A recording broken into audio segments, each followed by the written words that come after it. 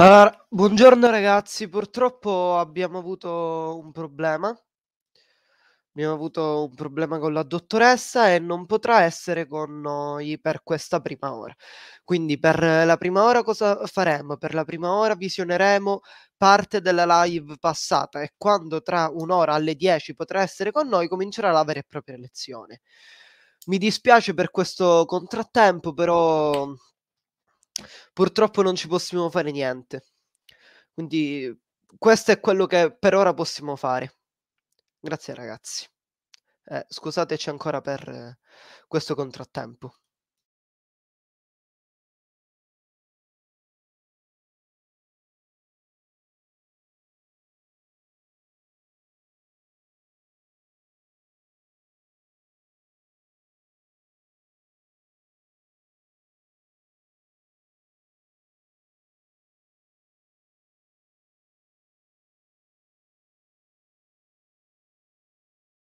Slide. Ora, non so se eh, riesce magari Azzurra a vedere se riesce a darmi praticamente la regia, perché avendo forse lei il, la questione di essere host, forse non, non riusciamo insomma a condividere questo schermo.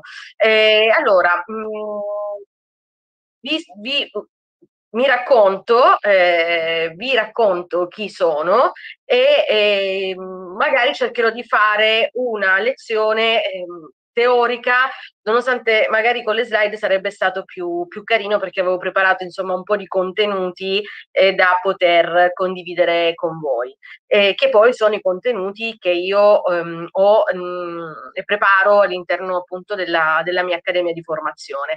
Allora, io sono Isabel Martino, nella vita sono una criminologa investigativa, eh, specializzata in analisi delle tracce sulla scena del crimine e eh, in psicologia, psicopatologia e psicodiagnostica in ambito civile e penale.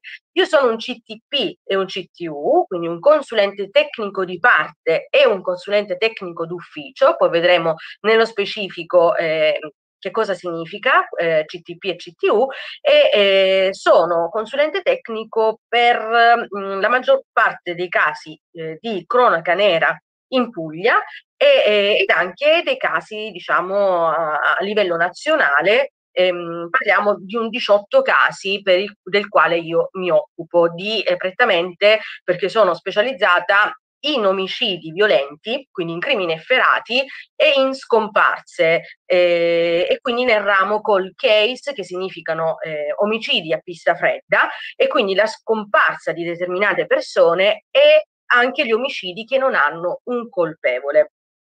E ehm, sono da sei anni all'interno delle varie equip della dottoressa Roberta Bruzzone, sono un team manager del gruppo a pista fredda, dell'associazione a pista fredda della dottoressa Bruzzone che si occupa della revisione dei casi che non hanno avuto una risoluzione, quindi di quelli più difficili, ma eh, mi occupo anche all'interno sua, del, diciamo, del suo organico ehm, della, eh, diciamo, dello studio dei fascicoli giudiziari dei casi più complessi. Quindi sono um, a, diciamo, a tutti gli effetti uno dei suoi bracci destri e eh, ho 35 anni e ho deciso poi, eh, dopo tanti anni di gavetta, di aprire una mia accademia di formazione mh, in Salento, in Puglia. E, ehm, quindi mi occupo anche di corsi di formazione per, ma, da partire da maturandi, poi vedremo eh, come mai si può partire da maturandi a fare dei corsi di formazione e fino ai corsi di formazione professionali, quindi al quale partecipano eh, o esperti del settore oppure magistrati, avvocati e psicologi. E mi occupo della formazione, infatti mh, la mia accademia che si chiama eh, C-Crime, ma in realtà è un, è praticamente un acronimo inglese, è un rafforzativo di crime, è stato studiato apposta, ma anche significa criminalistica e criminologia, perché lo studio della criminalistica, e poi vedremo perché, è uno studio molto settoriale e, e, ed è diciamo la mia pasette più portata, quindi l'analisi proprio della della vera e propria scena.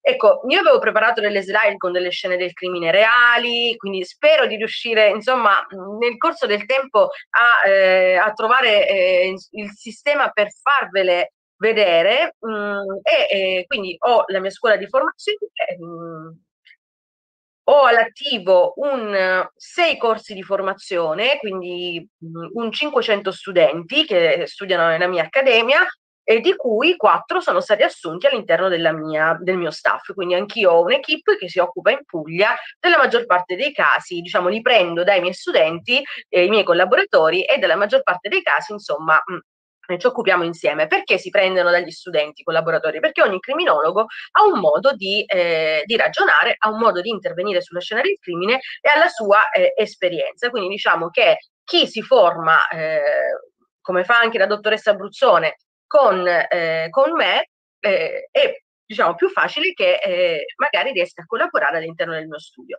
Comunque ho anche eh, la possibilità di fare degli stage da parte di studenti dell'Università di Foggia, dove c'è crimine e devianza e criminologia e scienze dell'investigazione. Poi andremo a vedere insomma quello che possono essere i vostri, ehm, il vostro percorso di studi e quello che potete effettivamente intraprendere per iniziare a fare questa professione. La mia professione è molto tecnica, cioè io sono un criminologo proprio tecnico, nel senso che io intervengo proprio nello studio, nell'analisi dei fascicoli giudiziari e intervengo proprio nel repertamento, nelle analisi, nelle tracce della scena del crimine. Poi ci sono vari tipi di criminologi, però il mio è un ruolo molto attivo, quindi ehm, diciamo che ci sono pochissime donne che lo fanno in Italia, perché fare eh, il sopralluogo, essere esperti di scena del crimine è, come criminologhe è un po' più, diciamo, più pesante dal punto di vista lavorativo, però è, è anche trae tanta diciamo, soddisfazione. Quindi il mio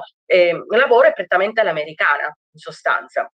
Scordiamoci eh, quello che sono eh, CSI, i, i, vari, i vari insomma, eh, i vari film, eh, i vari programmi di approfondimento, perché molto viene ovviamente eh, romanzato, viene comunque, eh, molte delle attività che noi abbiamo in Italia non si svolgono come in America, il nostro ordinamento giuridico prevede delle procedure che sono ben scritte e ben strutturate, quindi non possiamo, una persona da Dester in Italia non esiste.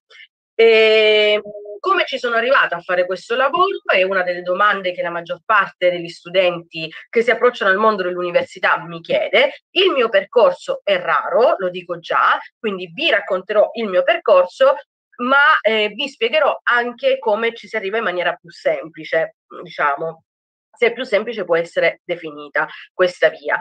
Allora, io eh, non conoscevo mh, il mestiere, la professione del criminologo e... Ehm, Volevo chiederti una cosa, vuoi mandarmi la slide e la presento io? Ok, allora, eh, mi assento un minuto, il tempo che mando ad Azzurra le varie slide, perché sono più, più di una, e, ehm, e praticamente poi cioè, insomma, ritorno in, in, stream. Un secondo soltanto, il tempo di inviarle le, le slide. Eh, allora. Vi ricordo di mh, compilare il modulo che vi ho inviato per le presenze, perché sarà l'unica cosa che dimostrerà che siete presenti. L'ho inviato nella chat di, di YouTube, se volete lo rimando, fatemelo sapere. Ora prendo il telefono perché, dato che è una live privata, non posso leggere i commenti da qua e devo entrare direttamente io nella live. Per quanto riguarda le domande potete fare o nella, nel, nei commenti della live stessa, però penso che non sia il caso, ehm, pure perché ehm, non li leggiamo perché ne arrivano altri spam, però potete anche mandarli nel modulo, quello bit.ly slash domande per gli ospiti. Eh, io le vedo e poi gliele posso fare direttamente a Isabel. Nel caso di interventi più lunghi che vogliate fare, basta che mi scrivete anche tramite rappresentante di classe e vi mando il link per entrare nello stream qua proprio in videochiamata con noi. Quindi fatemi sapere. Ah, perfetto, mi ha inviato il, il link, quindi ora vi faccio vedere la presentazione.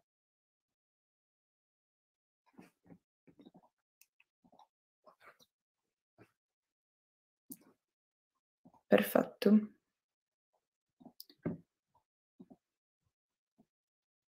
Ok, eh, ora ve la faccio vedere, vediamo se è tornato.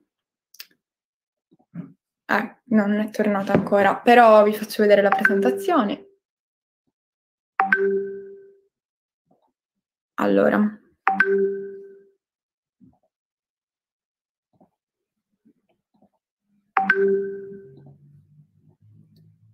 Ok. Ce l'abbiamo fatta. Ora aspettiamo Isabel. Ah, me ne invita più di una. Vabbè, intanto mettiamo questo.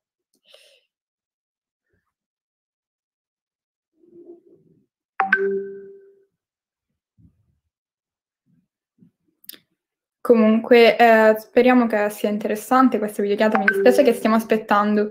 Eh, penso che tra poco tornerò e che mi stia inviando ancora altre, altre slide. Eccola, è tornata, è tornata.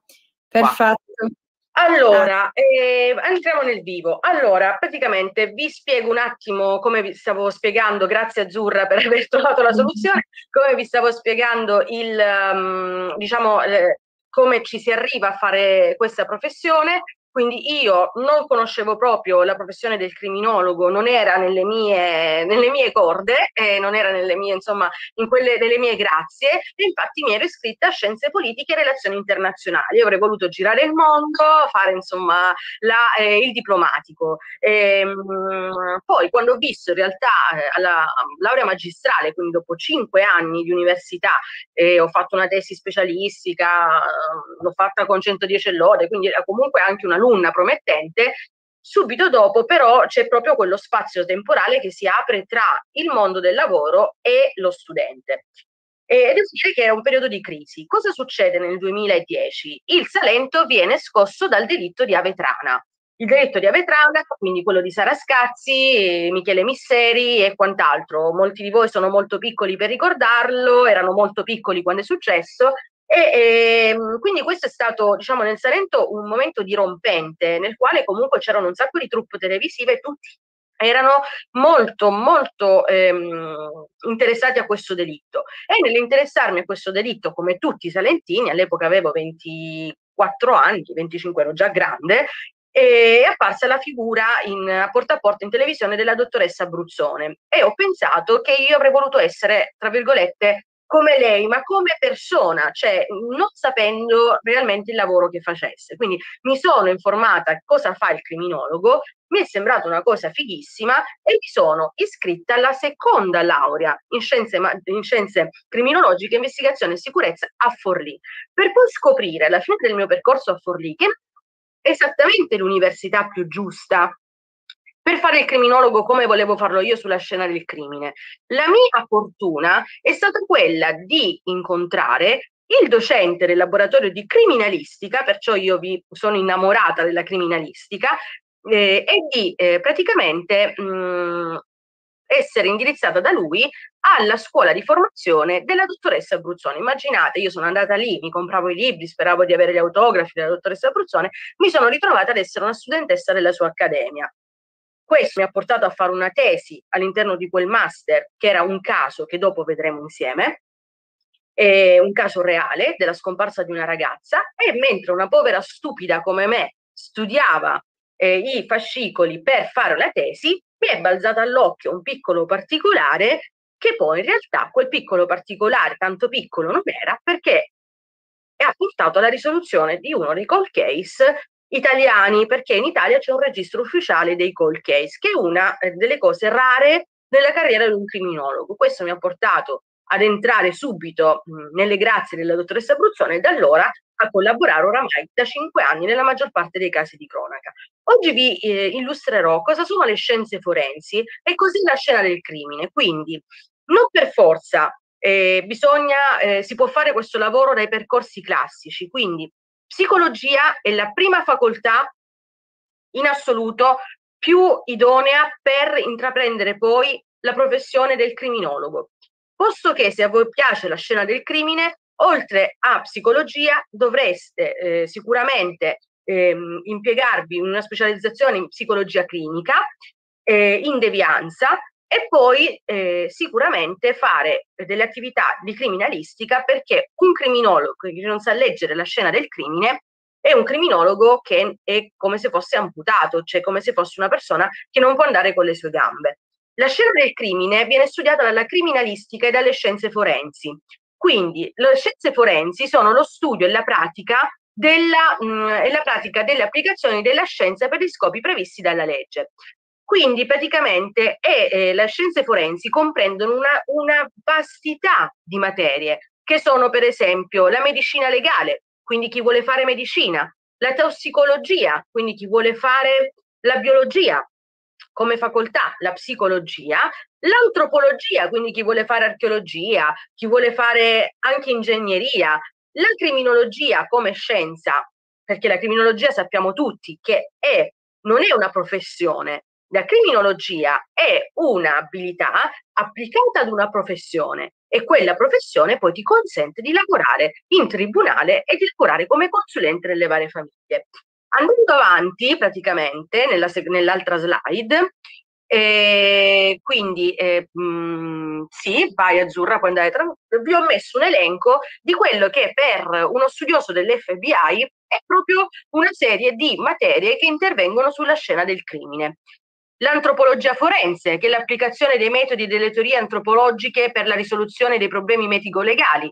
Non sempre le scene del crimine sono dei cadaveri belli messi lì e tranquilli. Molte volte i cadaveri vengono trovati eh, dopo molto tempo e vengono con- trovati in condizioni come per esempio quello di Chiara Gambirasio in condizioni all'estrema, eh, diciamo, ehm, eh, in furia delle intemperie, in posizioni impervie, in boschi e l'antropologo forense non può far altro che stabilire insieme al medico legale quel cadavere da quanto per esempio tempo è lì.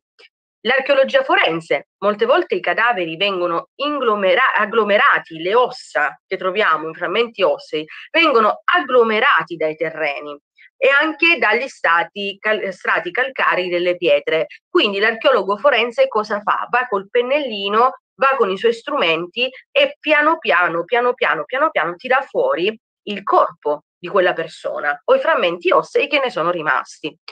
L'entomologia forense è lo studio delle, praticamente, delle larve che si, che si creano all'interno dei cadaveri. Quindi, cosa succede? Per esempio, nel caso di Yara Gambiraceo sono intervenuti antropologi forensi, archeologi forensi, entomologi forensi, perché si è stabilito che eh, quando Yara è stata trovata nel campo di eh, Chignoro, eh, Chignolo d'Isola, eh, è stata trovata in una posizione per la quale i fenomeni putrefattivi avevano praticamente agevolato la crescita della piantagione all'interno del suo corpo. E quindi praticamente con lo studio della eh, entomologia forense, quindi delle larve che erano su queste piante, si è scoperto che quel corpo non è stato mai portato in un secondo momento, ma era lì dal momento in cui la ragazza è morta. L'odontologia forense, chi vuole fare il dentista, l'odontoiatra, dici cosa c'entra? Sì, perché l'odontologo forense è la prima figura che interviene sulla scena del crimine quando viene trovato uno scheletro osseo e la dentatura intatta per stabilire l'identità in base eh, e soprattutto l'età in base all'arcata dentaria. Quando si trovano trovati quei cadaveri in cui è impossibile ristabilire l'identità, si fanno le, i calchi dell'arcata dentaria e con l'arcata dentaria si può risalire. Ma l'odontologo forense lavora anche in tribunale, per esempio, nei casi di maltrattamento. Quando i bambini sono, per esempio, maltrattati, una delle, primi, mh, diciamo, eh, delle prime cose che si vanno a guardare sono per esempio lo stato dei denti. Non solo, nei casi di maltrattamenti, per esempio i morsi, nei casi dei morsi dei delitti, per esempio nel famoso caso di una, ehm, di, eh, della Cesaroni, che è una donna che venne trovata morta tantissimi anni fa, parlo di più di 40, 40 anni fa, il caso è stato riaperto e eh, chiuso un, una manciata di anni fa, ne avrete sentito parlare se siete degli, degli, dei, mm, diciamo, degli ascoltatori di quarto grado piuttosto che chi l'ha visto, proprio perché sul Reggiseno è stato trovato l'impronta di un morso. Quel morso è stato confrontato con l'arcata dentaria dell'ex ragazzo della, de, di, questa, di questa donna. La patologia forense, che praticamente ci fa capire come è morta quella persona, perché non è detto che sia morta eh, assolutamente per, eh, perché eh, magari eh, ha avuto ehm, un accoltellamento, magari ha avuto un accoltellamento, poi ha avuto un'assiderazione, poi è stata ehm, mangiata dai lupi. Quindi eh, ovviamente troviamo un cadavere con più lesioni, il patologo ci insegna che lesioni ci sono.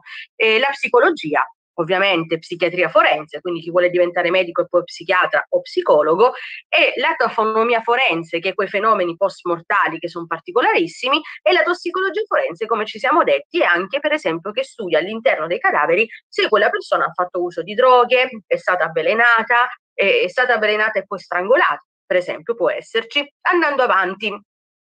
Quindi vedete quante professioni voi potete fare, quante facoltà potrete intraprendere e fare criminologi lo stesso, perché nessuno vi dice che facendo l'odontologo, quindi l'odontoiatra, non puoi fare il criminologo ed essere per esempio un criminologo esperto in odontologia forense e lavorare in tribunale per un determinato ramo per esempio. Poi abbiamo eh, l'archeologia forense, l'abbiamo già detto, l'odontologia, eh, andando avanti alla prossima slide, quindi alla slide numero 4, eccola qui, abbiamo anche altri campi, altre materie che sono più nobili, come la biologia, che è lo studio di, delle, di tutte le forme viventi. La biologia forense ci ha insegnato, per esempio, nel caso di Federica Mangiapelo, cosiddetta ragazza del lago, la ragazza che venne trovata la notte di Halloween eh, su un letto di un, di un lago, quella, quel caso si è risolto grazie alla biologia forense, quindi allo studio delle diatomee, che sono delle particolari piante, all'interno dei polmoni di quella ragazza che hanno stabilito che quelle particolari alghe, quelle particolari diatomee erano soltanto all'interno di quel lago. Quindi la ragazza, quando è, è, è caduta sulla, eh, sulla superficie acquea, ha ispirato le diatomee, quindi significa che qualcuno premeva il suo viso contro quel, quella superficie di acqua. La geologia forense, eh, più o meno lo, lo sappiamo, che è lo studio dei suoli, dei minerali, delle rocce per identificare e verificare la compatibilità con campioni di terreno. Una persona eh, seppellisce un cadavere da una parte, ritorna a casa, alle scarpe sporche di terra, si può risalire magari dove quel cadavere è stato, per esempio, seppellito, come nel caso di Penno, per dirvi. Genetica forense, è, è la, la, parte più figa perché lo studio del DNA abbiamo capito adesso che il DNA è una del, delle cose più importanti che vengono repertate sulla scena del crimine per dare un'identificazione precisa e inequivocabile al reo. E il digital forensics a chi di voi ama eh, smanettare al computer eh, assolutamente si può laureare in informatica forense, fare un corso in digital forensics e quindi diventare quella persona che quando, eh, perché questo è un esame che viene fatto sempre, quando c'è un caso sia di scomparsa che di omicidio, una delle primissime attività che si fanno è andare a vedere gli apparati telefonici, quindi le celle telefoniche, i cellulari, i computer. Si può essere tranquillamente informatici forensi e eh, quindi informatici, laureati in informatica e criminologi, quindi lavorare comunque anche in questo settore. Andiamo avanti con l'altra slide, eh, quinta. Ok. E le, nuove tecnologie, quindi i vostri genitori che magari vi incitano a fare ingegneria, ma magari a voi pensate, eh, voi pensate che sia fighissimo fare il criminologo, potete fare gli ingegneri forensi, assolutamente, perché eh, per esempio gli ingegneri forensi ehm, nei, nei delitti di precipitazione, cioè quando una persona viene defenestrata o comunque in eh, incidenti particolari, in incidenti stradali che hanno causato dei morti, assolutamente si può fare gli ingegneri e poi specializzarsi in ingegneria forense e l'analisi forense dei video. È una cosa fighissima, per esempio sulla scena del crimine c'è chi gira i video, perché tutte le scene del crimine, tutti i repertamenti sono video registrati. C'è chi, eh, chi gira i video e chi fa le foto, che è esperto in fotografia forense, cioè va a fotografare soltanto quello che è il sopralluogo in un determinato caso. E le, l'analisi forense dei video, per esempio, serve per le rapine in banca. Quando in quei video viene visionata la figura di una persona, c'è bisogno di capirne l'altezza, il peso, la morfologia, il viso, per esempio. Andiamo avanti. E quindi ehm, la priorità che deve avere uno scienziato forense, che poi in realtà parliamo di tutte figure che sono so tutti criminologi, quindi non c'è bisogno di essere criminologo puro in realtà. In realtà si, ci si può specializzare in tutte queste materie e prendere la branca forense di queste materie, se ugualmente criminologi. E, e le scienze forensi co- di cosa si occupano? Quindi de- dell'analisi, quindi lo studio, che è un elemento ehm, praticamente l'analisi dei fascicoli, l'analisi delle caratteristiche essenziali di un caso, il confronto, quindi la comparazione tra i vari reperti e la valutazione degli stessi. Quindi analisi, confronto e valutazione sono i tre perni delle scienze forensi. Andiamo avanti, così siamo belli, belli attivi. E cos'è una scena del crimine? Molti di voi l'avranno sicuramente eh, se lo saranno sicuramente chiesto, no? Cos'è una scena del crimine? Immagino che tutti voi pensiate che una scena del crimine, mm, puoi aprire anche l'altra slide, eh, tanto andiamo veloci perché oggi siamo molto discorsivi. Una scena del crimine, innanzitutto, scena del crimine, che significa? Crime scene deriva dalla dalla, dal linguaggio americano, dallo slang americano, perché noi sappiamo che gli americani sono molto più avanti di noi per quanto riguarda proprio i sistemi di ehm, analisi della scena del crimine. Quindi crime scene è la scena intesa come to stage, cioè il fatto dove è avvenuto un crimine. Ma che crimine? Cosa si intende? La scena del crimine non ha soltanto de- i delitti sanguinari e i cadaveri uccisi e ammazzati. La scena del crimine, per esempio, comprende tantissimi reati, tutti i crimini. Quindi possono essere, per esempio, può essere la violenza sessuale, un furto, una rapina, anche la rapina è una scena del crimine. Io ho dei colleghi che lavorano anche insieme a Roberta nella stessa equipe che sono criminalisti e vanno ad analizzare proprio le impronte digitali, eh, eh, molti altri apparati.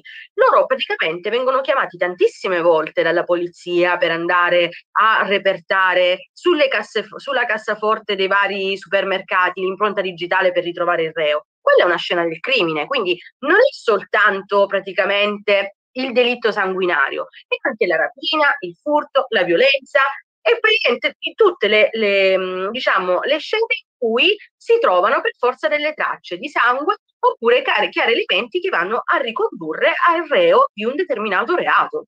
Andiamo avanti.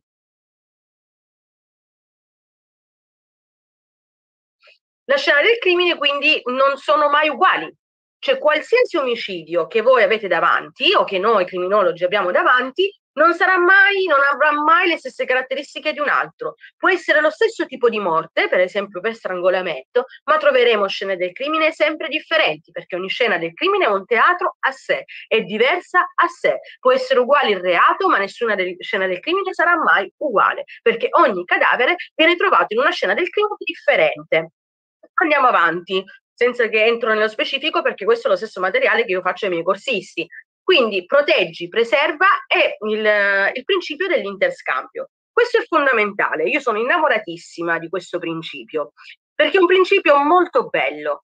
Ciò che quando una persona, un individuo viene a contatto con la vittima, lascerà alla vittima qualcosa di sé e porterà via qualcosa della vittima con sé. Quindi, in una scena del crimine, anche se non si trova il reo, ricordiamoci che al 100% non esiste il crimine perfetto, esistono le indagini sbagliate. Quindi, ogni persona, individuo che viene in contatto con un altro individuo produce un interscambio e porterà via con sé qualcosa dalla scena del crimine e lascerà qualcosa di sé sulla scena del crimine. Al mille per mille. Quindi protegge e preserva dipende, cioè è praticamente quello che sono i principi fondamentali per noi criminologi, proteggere la scena del crimine e preservare le tracce per andare a individuare i colpevoli. Andiamo avanti. Poi la cosa importante, per esempio, per un criminologo specializzato in analisi delle scene del crimine sono le tracce, la scena. La scena praticamente è microscopica e macroscopica. macroscopica. Macroscopica si intende tutto quello che c'è intorno al cadavere. Microscopica è il cadavere, le tracce che sono su di esso. Quindi abbiamo due tipi di scene del crimine, la macro, che è quella attorno al cadavere, e la micro scena del crimine, che è il cadavere. Anche il cadavere ha all'interno delle peculiarità per la quale il cadavere stesso è una scena del crimine. Andiamo avanti.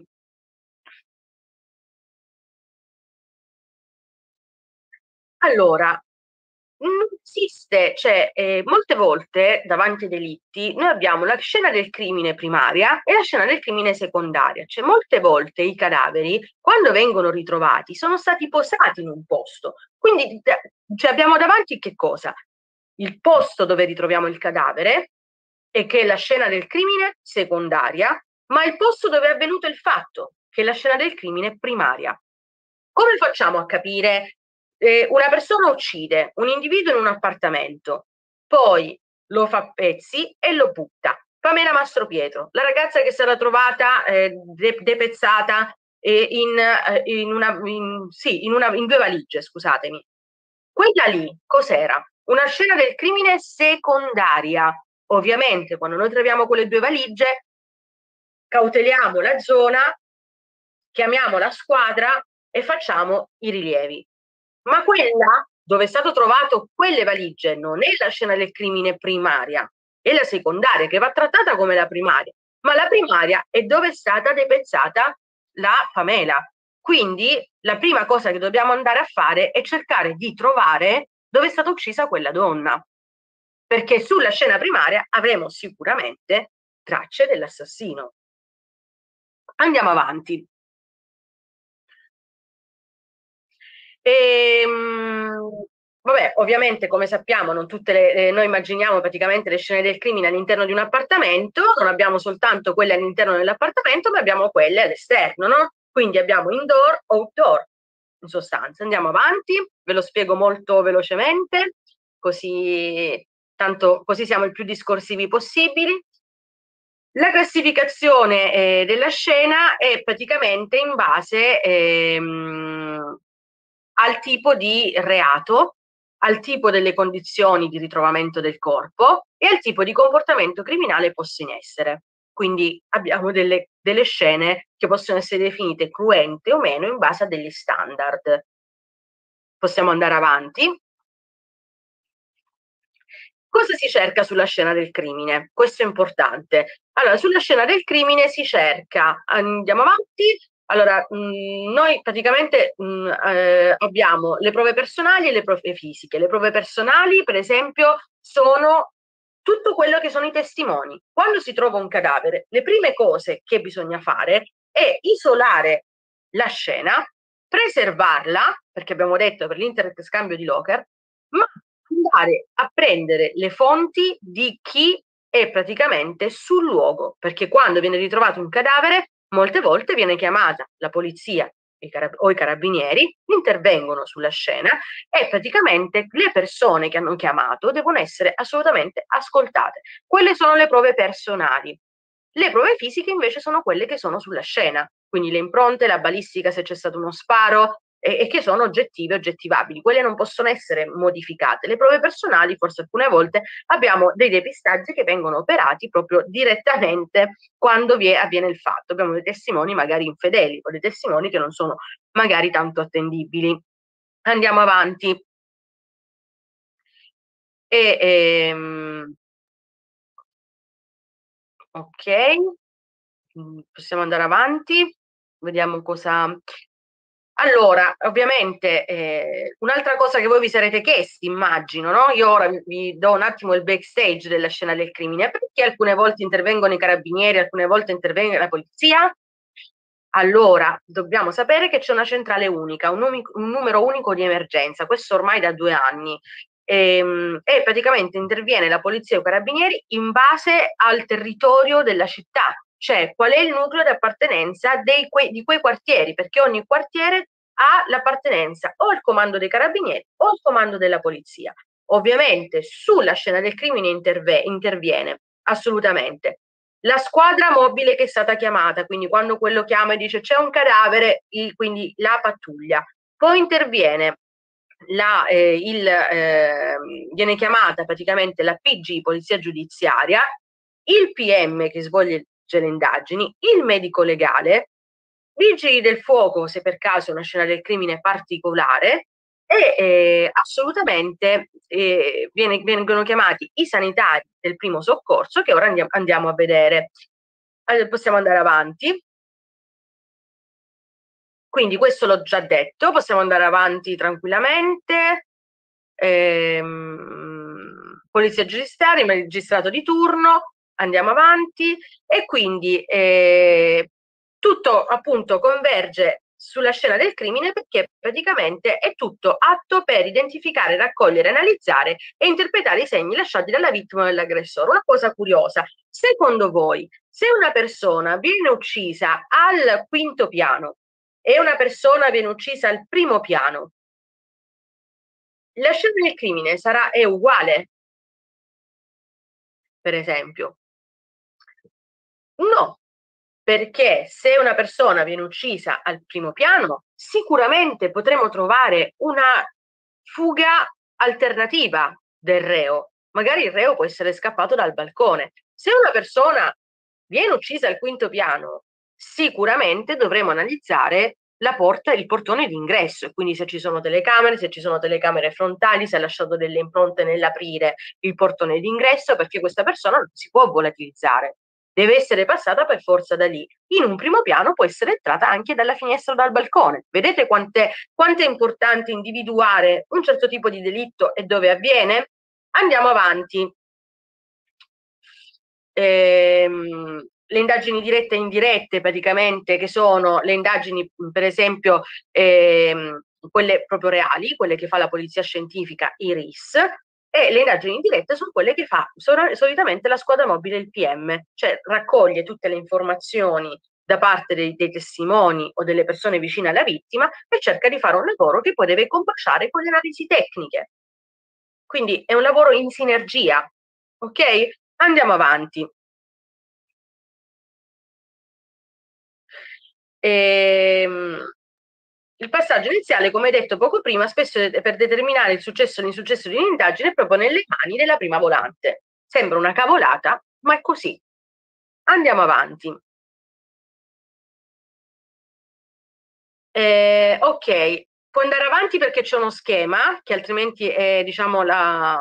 Ok, queste sono le figure che intervengono sulla scena del crimine. Abbiamo l'ufficiale della volante, il personale del 118 che deve dichiarare la morte della persona, il medico legale che è praticamente preposto per fare l'ispezione cadaverica sul momento, poi sarà il magistrato a decidere se fare l'autopsia o meno, la, ehm, il personale del 115, quindi vigili del fuoco, qualora la scena del crimine lo richieda, ma molte volte lo richiede perché dite? Perché magari ehm, molte volte una persona non risponde nel suo appartamento, l- viene ritrovata morta all'interno, intervengono i vigili del fuoco eh, per aprire la porta. La polizia scientifica, quindi chi va a fare il sopralluogo, i RIS, che non sono soltanto i RIS, ci sono anche i ROS, c'è anche il RACIS, c'è anche il gabinetto di polizia scientifica della, della mh, eh, diciamo, eh, quello interregionale, regionale, ci sono vari, vari nuclei il PM,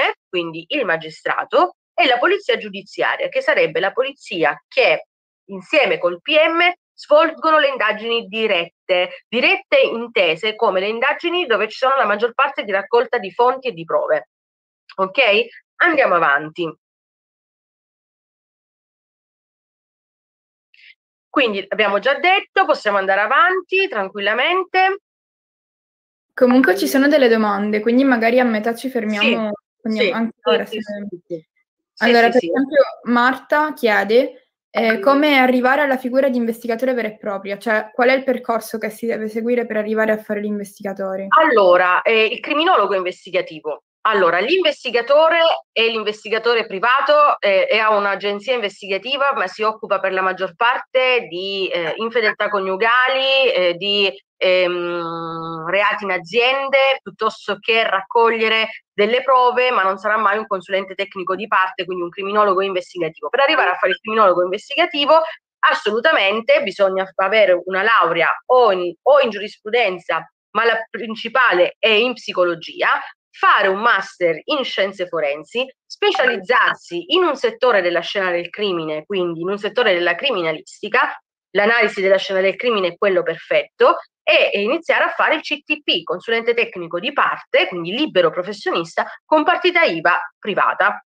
Questo è il tipo di lavoro. cioè non, non, si trova un lavoro, non c'è un posto di lavoro, cioè io collaboro con la dottoressa Bruzzone, è il mio datore, datore di lavoro, ma io ho la mia partita IVA, non sono un dipendente della dottoressa Bruzzone, io ho una mia partita IVA da libero professionista e lavoro dove c'è da lavorare, cioè in qualsiasi caso c'è bisogno del mio, del mio diciamo, intervento, vengo chiamata dagli avvocati che difendono le famiglie, vengo intercettata, mi dicono eh, dottoressa, c'è una, questa scena del crimine, c'è bisogno di questo, di questo, di questo, il PM sta decidendo per l'archiviazione, vuole subentrare nel caso come consulente? Sì, io sono libera di dire di sì, anche se lavoro nell'equipe della dottoressa Abruzzone, perché la dottoressa Abruzzone non è un'azienda che mi dà il contratto di lavoro a tempo indeterminato. No, il datore di lavoro sono io stessa, anche per lei, eh. Cioè, in senso, lei mi dice, Isabel, c'è questo caso, entri in barca oppure non ti va?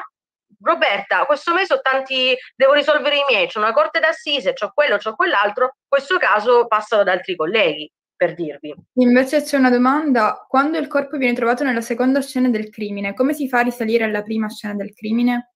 Allora, solitamente tramite fonti investigative, cioè sicuramente si capirà che c'è un sospettato perché magari si è trovato il cadavere in un certo posto, si analizzano quelli che sono i contributi delle celle telefoniche di dove poteva essere il cellulare, c'è tutta la parte investigativa che alla fine conduce a dove può essere la scena del crimine. Ma se è stata ripulita, per esempio, come facciamo a capire che quella è la scena primaria? Per esempio con il lumino. Avete mai visto quella scena del Luminor che accende e fa vedere se ci sono le tracce di sangue? Quelle sono le tracce di sangue latenti, cioè quelle che non si vedono all'occhio dell'investigatore, ma sono presenti comunque sulla scena del crimine. Sono difficilissime da cancellare. Il Luminor, per esempio, molti immaginano come una lampada. Il Luminor non è una lampada, il Luminor è come un'aspirina, viene diluito in una sostanza di acqua distillata, quindi si usa l'acqua distillata, questa pastiglia come un'aspirina viene sbattuta e quell'acqua distillata eh, con quel tipo di sostanza agisce con la chemilunescenza. La chemilunescenza agisce col comparto ferroso del sangue. Quindi, laddove incontra del ferro sulla superficie, quindi il sangue che è colato ma è stato lavato, ripulito, quella chemiluminescenza dà l'effetto lucciola che appare e scompare, quindi non illumina la stanza blu, per esempio, è, è un, un falso mito, appare e scompare e là ci fa capire che c'è stato probabilmente, probabilmente del versamento di sangue. Come facciamo a capire che c'è stato realmente il sangue? Con i test presuntivi, che sono delle striscette come eh, al test delle urine, per esempio, si strofinano sulla superficie dove abbiamo creduto che il lumino ha individuato il sangue, si mettono in un liquido e ci danno in 30 minuti la positività al fatto che ci può essere stato del sangue. Dopodiché si fa un secondo test presuntivo e si capisce se il sangue può essere di tipo umano o di tipo animale. Se è di tipo umano, andrebbe a individuare quella come il teatro sicuramente di un crimine.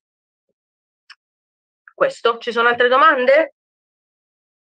In realtà sì, ma ce ne sono così tante che direi che è meglio finire la presentazione e poi farle tutte alla fine. Ok, va bene, va bene, Quindi, va bene. Continuiamo, metto le presentazioni. Ok. Ok. Ok. Perfetto. E quindi eh, abbiamo già, ho già detto tutto in maniera riassuntiva, possiamo andare avanti, così poi diamo anche spazio a chi ha da fare le domande. E, um, andiamo avanti. Ok, eh, ok, quindi questo sono uno dei lavori più importanti da fare sulla scena del crimine, che sono annotare tutti i, crimino- cioè i criminalisti, chi interviene sulla scena del crimine. Io, per esempio, intervengo sulla scena del crimine a posteriori, perché gli unici che possono intervenire sulla scena del crimine con, facendo praticamente i rilievi sul momento quando è accaduto il fatto è la polizia scientifica, i RIS. Quindi per fare questo tipo di lavoro devi entrare all'interno di un nucleo della polizia scientifica, ma puoi farlo anche come me, cioè come libero professionista. Cosa succede quando c'è un caso? Per esempio, io posso essere chiamata dalla famiglia e posso rientrare nell'appartamento visionare i filmati dei colleghi dei RIS e rifare per esempio delle analisi. Quelle si chiamano accertamenti tecnici ripetibili. Quando vedete nei TG che rientrano nella casa con le tutine dei RIS, entra varia gente, quello è un accertamento tecnico ripetibile dove io per esempio che sono criminalista posso lavorare accanto alla squadra dei RIS che ha fatto il sopralluogo primario per andare a individuare altre tracce. Io lavoro così, per esempio. Quindi annotare, fotografare, videoregistrare, come avevo detto, prendere gli schizzi degli ambienti, sempre. Ogni eh, fascicolo tecnico di una scena del crimine ha i suoi eh, disegni fatti dagli operatori che intervengono. Eh. Tu devi, devi fare proprio un disegno dell'ambiente e anche una descrizione. Per esempio, devi annotare che tempo fa e che eh, se piove, se fa sole o se per esempio è una giornata uggiosa. Perché? Perché se io dentro all'appartamento trovo delle impronte di fango e il giorno che è stato trovato il cadavere è una giornata di sole, quel cadavere non è morto quel giorno, magari sarà morto due giorni prima quando diluviava. E io queste cose devo scriverle. Pure che il medico legale me lo dice, io lo devo scrivere, perché se poi mi trovo delle impronte di fango, io devo dirgli, spiegare al PM che io ho capito che quella è una giornata di sole e sicuramente se ci sono quelle impronte o possono essere state lasciate dalla vittima, quindi magari la persona è stata uccisa, eh, era ancora in vita quando per esempio il giorno che pioveva, o possono essere state lasciate dall'assassino, quindi è stata uccisa, oppure non c'entrano un cavolo con la scena del crimine, ma devo dirle, non posso dimenticarmi nulla sulla scena del crimine, della scena del crimine e sulla scena del crimine. Quindi la posizione della vittima è ovvio, perché se poi io il medico legale e questa vittima me la gira, non è la stessa posizione in cui è morta. Cambia tutto, mi cambia la dinamica di dove è stata colpita e come è stata colpita. Poi, e, e quindi tu, tutto il resto, tutto quello che ne diviene. Andiamo avanti. Vabbè, prendere nota, lo, l'ho già detto, possiamo andare avanti, l'ora, il giorno e, e, quant'altro, la descrizione della scena, quindi le condizioni mediche, tutto quello che vi ho detto finora, possiamo andare avanti. Ehm, andiamo avanti. Quindi possiamo andare avanti, la videoregistrazione che deve essere fatta in un determinato modo, andiamo avanti perché tanto questo è lo stesso materiale che io do eh, ai miei corsisti, documentazione fotografica, quindi le foto, voi vedete anche nei film no? che vengono fatte le foto sulla scena del crimine. Andiamo avanti. Ok, gli schizzi. Allora, per esempio, cioè io quando analizzo un fascicolo giudiziario, perché il caso l'hanno archiviato, la maggior parte delle volte, quando io subentro, è perché magari c'è stato un disastro nelle indagini. Cosa mi devo andare a vedere? Il fascicolo giudiziario, quindi mi prendo tutto, le dichiarazioni dei testimoni, le intercettazioni, il fascicolo del, del, del medico legale. Cosa mi devo anche prendere da quel punto di vista? Mi devo prendere anche la relazione tecnica della squadra della scientifica e lì posso capire se ci sono stati degli errori o meno. Posso dire no, questa cosa l'hanno fatta male. Abbiamo questo reperto avvocato? Chi ce l'ha in custodia? La polizia giudiziaria. Ok, andiamo, lo repertiamo e lo analizziamo per esempio noi, sempre previo permesso del PM. Andiamo avanti. Questo è uno schizzo di una scena del crimine. Dice, oddio, devo saper disegnare. Sì, per il sopralloghista, eh? Io questi schizzi li ho sempre trovati nei fascicoli giudiziari, non li ho fatti io in prima persona, perché questo è il lavoro di chi fa il primo sopralluogo, che di solito lo fa la polizia scientifica oppure il nucleo dei carabinieri, il ROS. Ok? Andiamo avanti. Laser scanner, per esempio, è un nuovo metodo per la quale, per esempio, io faccio lo schizzo, ma con laser scanner prendo l'estremità di un posto, poi me lo lavoro al computer e mi esce proprio una piantina ben specifica, però non tutte le squadre ce l'hanno, non tutti ce l'hanno e comunque ancora è raro trovarlo. Andiamo avanti. Allora, cosa fare? L'intervento sulla scena del crimine, quindi abbiamo detto limitare l'accesso della scena usando il nastro e identificare i possibili percorsi utilizzati dal criminale. registrare accuratamente le condizioni originarie della scena, quindi anche con un cellulare, però il poliziotto che interviene è obbligato quasi a fare quel tipo di attività, annotare ogni modificazione della scena dovuta a interventi proprio di terzi. Personale del pronto soccorso è il più grande mh, mm, inquinatore della scena del crimine, ma è l'unico autorizzato a farlo, perché se in, eh, non sempre troviamo la persona già morta, magari la persona va in ospedale e muore in un momento successivo, oppure dobbiamo rianimarla. È logico che non posso stare attenta, eh, l'operatore non può stare attento a quello che fanno, perché in quel momento è prioritaria la vita della vittima o della presunta vittima. Poi se quella persona muore, a distanza di un mese, scusatemi il termine, so cazzi, perché magari non si è trattata quella scena in maniera giusta da preservarla. Andiamo avanti.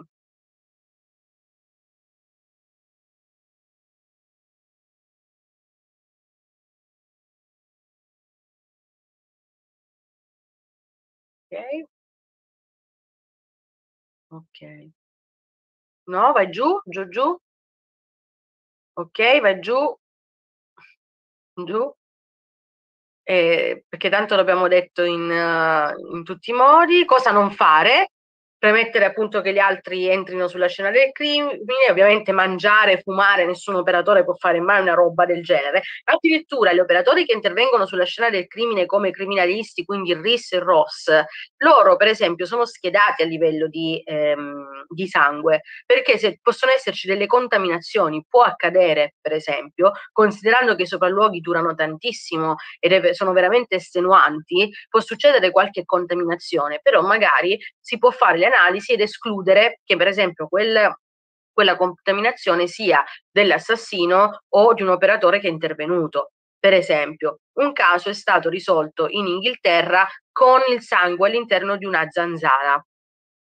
Quindi l'operatore ha visto una zanzara, ha schiacciato la zanzara, ha prelevato col contofiocco il sangue che è uscito da quella zanzara e si è trovato l'identità di una persona che poi si è trovato a essere l'assassino della vittima che era in terra. Un operatore, mio collega, ha provato a rifarlo in Italia, ha visto una zanzara, succede, magari ci succede il culo che abbiamo avuto in America, hanno avuto in America. E invece il risultato è che il sangue era il suo. Cioè lui faceva il sopralluogo, la zanzara la, la, la molla, la, insomma, eh, e quindi praticamente si è ritrovato il suo sangue invece che quello che pensava del, dell'assassino. Andiamo avanti. Quindi, per esempio, quando si fa un sopralluogo, ehm, può durare dalle 6 alle 12 ore e non si mangia, ragazzi. Non si beve, non si portano cose esterne e non si va neanche in bagno a fare pipì perché si hanno le tute e, e non si può fare nulla. Eh. Perciò per una donna è raro fare il criminalista. Andiamo avanti.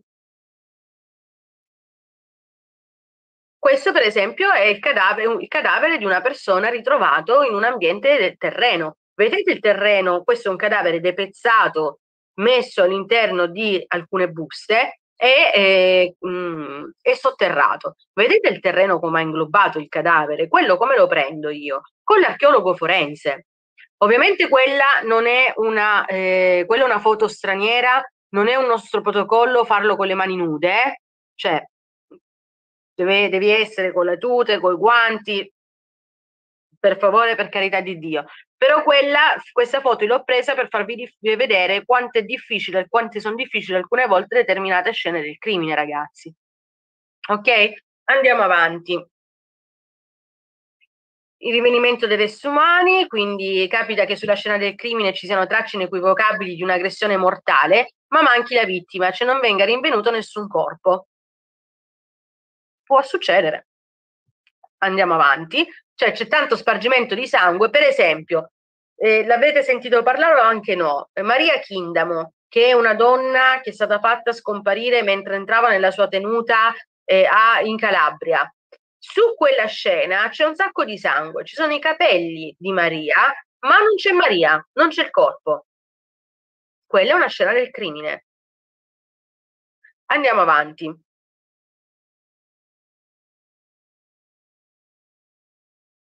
Possiamo andare avanti. poi ehm, ovviamente se non viene ritrovato il corpo si può per esempio utilizzare i, eh, i cani molecolari, i cosiddetti cani molecolari e vi ho fatto anche una spiegazione di come questi cani molecolari perché riescono a trovare i cadaveri perché il cadavere praticamente ha eh, delle componenti chimiche che avvengono post mortem con degli odori particolari che possono essere riprodotti in laboratorio. Questi, queste cose, queste, questi stracci vengono imbevuti con praticamente questi odori e viene praticamente fatto questo tipo di lavoro qui. Andiamo avanti. Allora, mh, mm, ok, sì, andiamo avanti, l'ho già spiegato. Possiamo andare avanti alla 48.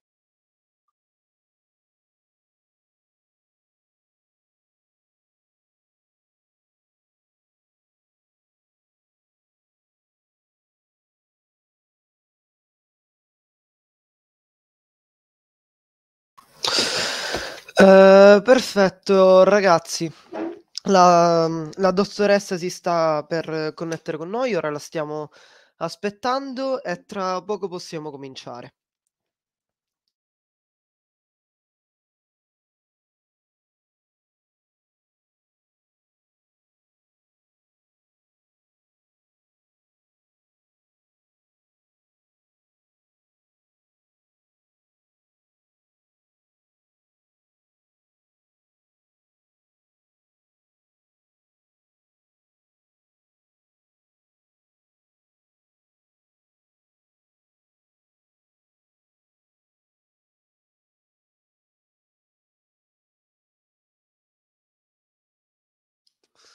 Stiamo aspettando la dottoressa.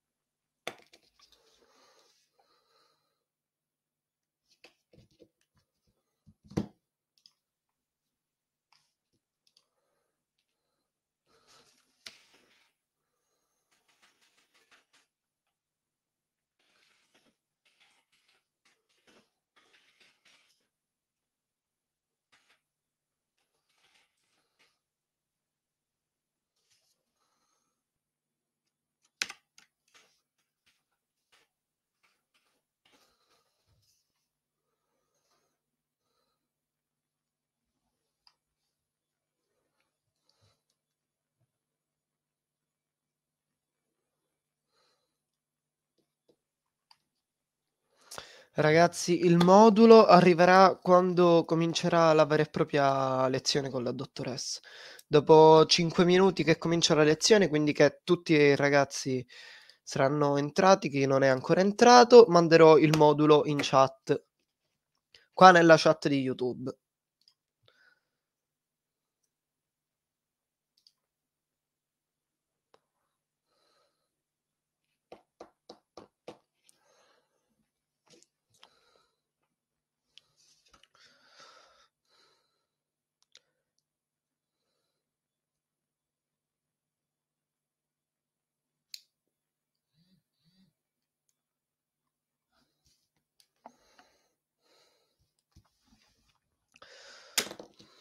Se avete altre domande per adesso le potete scrivere in chat in generale su questo, a parte che non sia del modulo perché mi avete fatto domande sul modulo dall'inizio di questa live quando avevo messo il banner in basso per dirvi che sarebbe il modulo avrei mandato alle 10 quando sarebbe entrata la dottoressa tra poco. Grazie.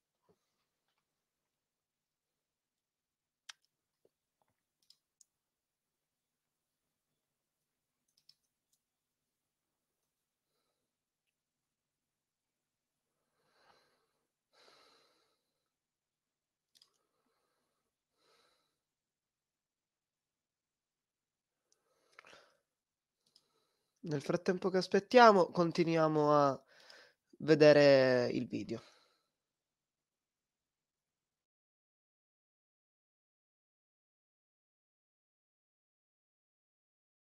Ok, 48 pezzi di maiale, andiamo avanti. Eh, ok, per esempio mm, possiamo andare avanti anche vi ho fatto vedere una delle scene del crimine più importanti. Voi eravate piccoli, mi rendo conto di questa cosa, ma per esempio quella dopo è, non so se ne avete mai sentito parlare, è la scena del crimine del delitto di Meredith Kercher. Andando avanti, mm, la possiamo vedere.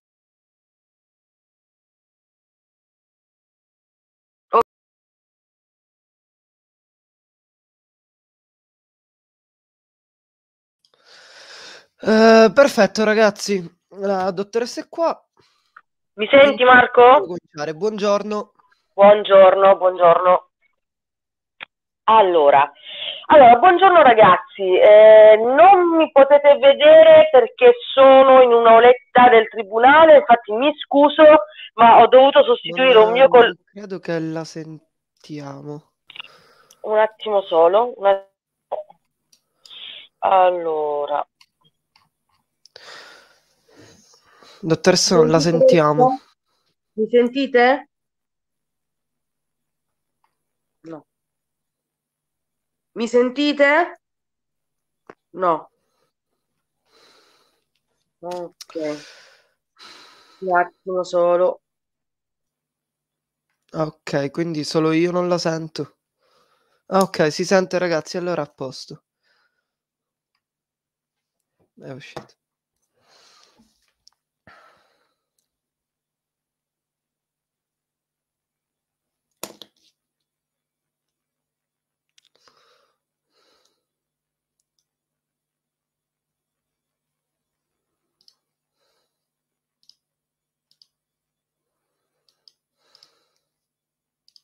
Marco? Buongiorno. Buongiorno, buongiorno.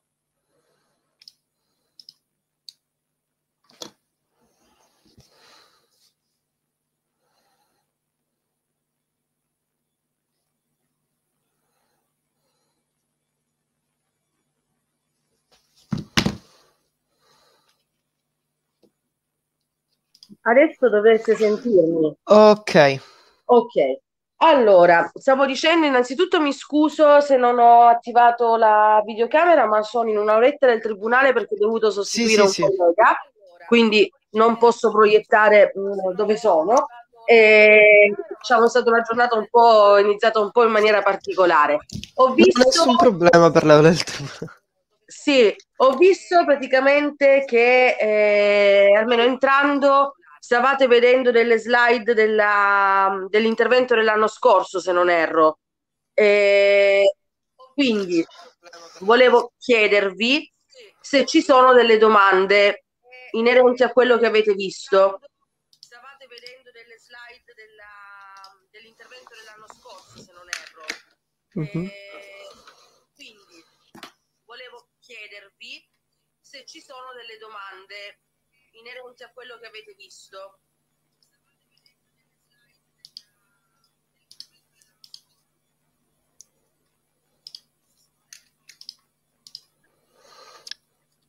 Mm, ragazzi, avete domande?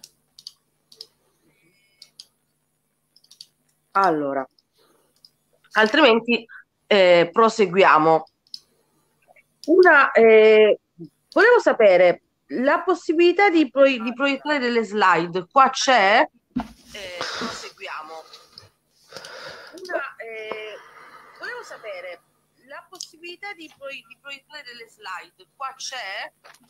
Dovrebbe esserci. Un attimo solo allora che vedo.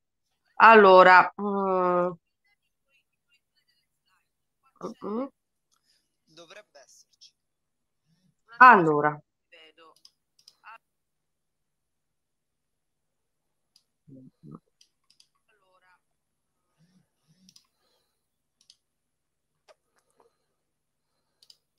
In realtà io non ho nessuna opzione qui.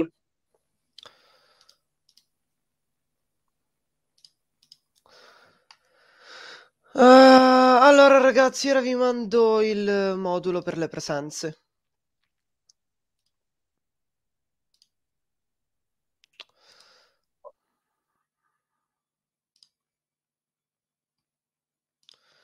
Ok, ve lo mando nella chat.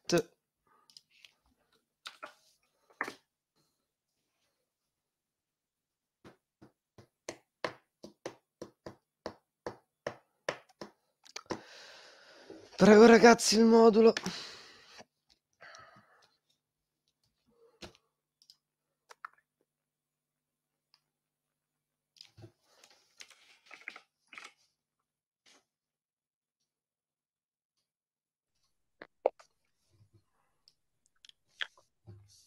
nemmeno impostazioni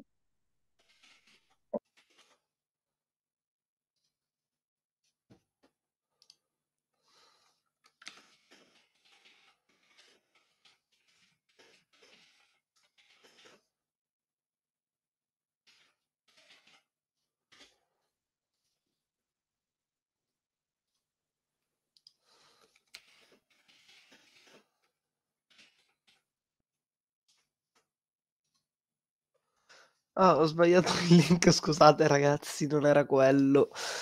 Ah.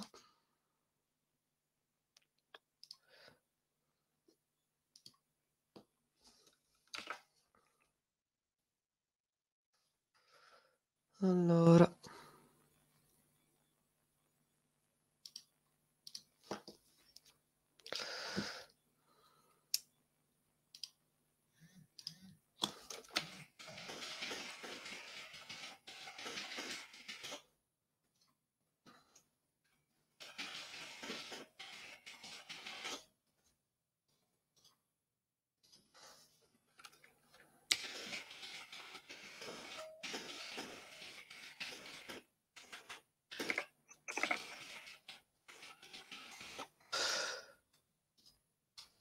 Ragazzi, abbiamo alcuni problemi tecnici.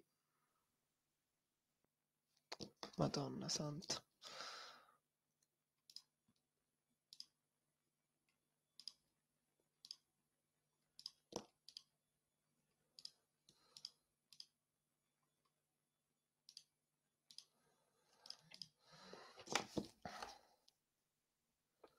Vabbè, ragazzi, nel frattempo rimetto il video condizioni. Ovviamente, questa è quando è stata trovata, questa è la vera scena, eh? vera, foto reale. Quando è stata trovata, Meredith praticamente aveva in sostanza, ehm, cioè era praticamente eh, così. Però, chi deve intervenire su quella scena? Deve intervenire ancora, se è stata trovata, ok? Deve intervenire ancora sicuramente il medico legale, quindi andando più avanti, quando Meredith è stata portata via, in sostanza, vedete? Abbiamo il cuscino, andiamo avanti, il cuscino. E, eh, no, no, no, scusami, indietro, da, dove c'era il cuscino. Ok, abbiamo il cuscino, la pozza di sangue in cui c'era Meredith, sul comodino anche del materiale lasciato da, da chi è intervenuto, bravissima, grazie, e vedete com'era una scena del crimine difficile. Quindi cosa abbiamo come reperti? Su cosa ci dobbiamo concentrare? Sicuramente sul cuscino, è un reperto. Tutti quelli che sanno di cosa sono, reperti devono essere presi, repertati, prelevati dalla scena del crimine, conservati in buste sterili. Ok? Andiamo avanti.